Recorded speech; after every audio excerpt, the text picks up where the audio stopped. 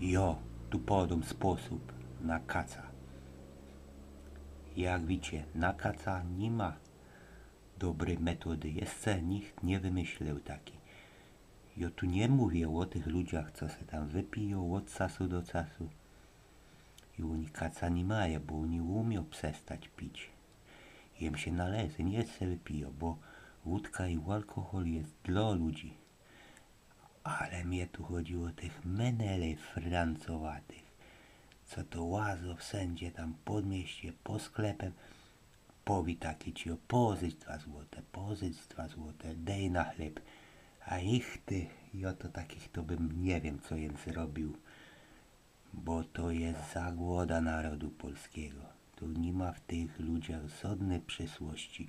A, a jakie oni ból sprawiają swoim rodzic, rodzinie, żebyście wiedzieli.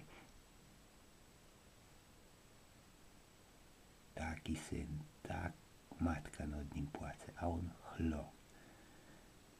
Rano wstanie, łapie się cęso i idzie.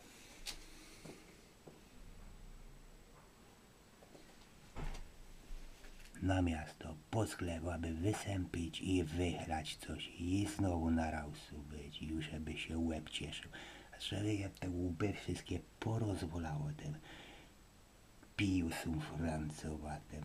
Takiego to mi nie szkoda. Niech go kac cymo cały dzień. A dla takich ludzi, co umią wypić, to one nie będą mieli kaca, bo oni nie doprowadzą do kaca. Chociażby mieli, to się nawet nie przyznają. Przecierpią to jakoś i później dobrze jest. A te pijoki francowate, ile u nich kłopotów sprawdza, ile wypadków po tej gorzole sami ze sobą mają. Taki łochlaptus wyjdzie na taką ulicę i tak się szmaci, że no, że... Ale to on nie ma nic w łebie, on ma siuter w łebie, on nie myśli. Ludzie się to z takiego śmieją, poleje się to po tego. Łownoż leży na ulicy. To jest kurde, zagłada. Pamiętajcie, nie dajcie takim ludziom żadnych pieniędzy. Dajcie mu tam bułeczkę albo coś takiego, ale nie dajcie im gozały, bo to nic dobrego z takiego człowieka nie będzie. Ja tu mówię nie o ludziach, którzy se umią wypić kulturalnie od czasu do czasu, się pocieszyć, ale o tych łochlaptusach.